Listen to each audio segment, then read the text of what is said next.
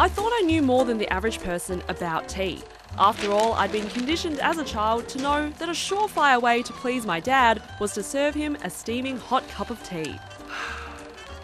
In fact, my dad loved tea so much, I don't think I ever saw him drink water. He always had a mug somewhere in the house, even if it had gone cold. But it turns out I didn't know as much as I thought.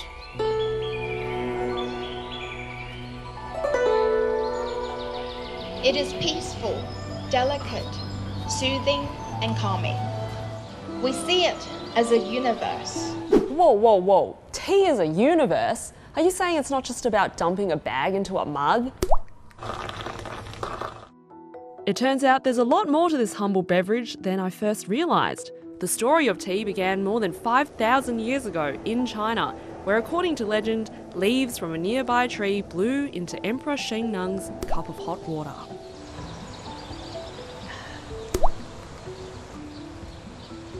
Mm. Mm. That was a gum nut. Ugh.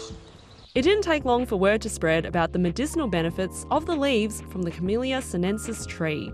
It was just kind of seen as something that would keep you awake. Um, that was very useful for Buddhism to for people who wanted to kind of stay awake and be alert for prayers. It was kind of attributed these qualities that were like the opposite of alcohol, like alertness, awakeness. Chinese tea has been developed into six main varieties: green, white, yellow, oolong, black, and dark tea. Correctly drinking tea really gives many benefits to our health life. Initially reserved for China's elites, tea evolved to become a drink for the masses. Around the time of the Ming Dynasty, the 17th century, there's this uh, transfer from these elaborate teas to the teas that we recognize today, loose leaf teas, which are plucked off the tree, roasted, rolled, etc., and they look like the teas we would buy today. Tea culture soon spread across the world before taking a dark turn thanks to those pesky colonists, the British. Uh, the 18th century, 19th century, the English East India Company began to really uh, purchase large amounts of tea from China. Um, but they were trying to figure out a way to pay for it. So they eventually discovered that if they could take the opium that was grown on farms in their colony at this time, Eastern India, and brought that to China, then people in China would purchase the opium. They could use the profits from that to purchase the tea and bring it back to Europe and to the English market. Opium addiction had a strong grip on China until the Cultural Revolution. The British East India Company declares war on the grounds of defending free trade. But really, it's about the profits from tea. They very swiftly win this military naval battle in 1842. Uh, and in Chinese history, this is seen as the beginning of the end of the last empire of China, the, the Qing dynasty. Starting with the Opium War of 1842, this was a century of humiliation that was only ended with the Communist Revolution of 1949.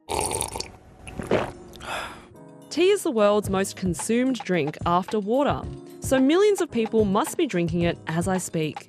But how many of them realise its complex history?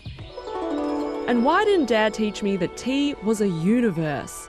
He didn't even teach me the proper Chinese way to serve it.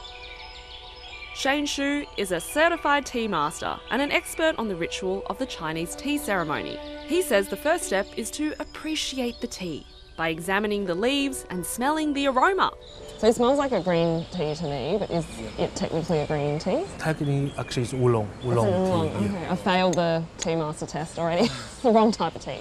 The first round of hot water is for rinsing and warming the cups.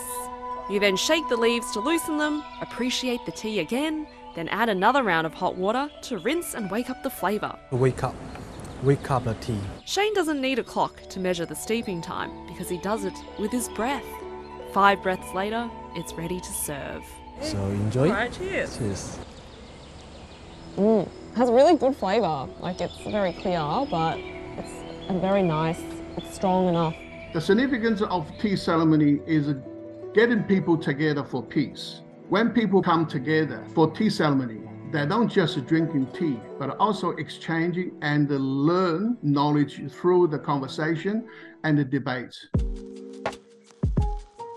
Tea ceremonies are also a significant ritual at Chinese weddings called Jingcha, meaning respectfully offering tea. It symbolises the union of the bride and groom's families. The new couples will be uh, serving the tea to their parents to thanks, giving their life, their best wishes for them. But Shane says you don't have to wait for a special occasion. Drinking tea every day is a ceremony in itself. Now that I know more about the customs around tea, I feel like I should treat my daily ritual with a bit more respect. You are kind. You are good. You are one with the universe. Have a wonderful day.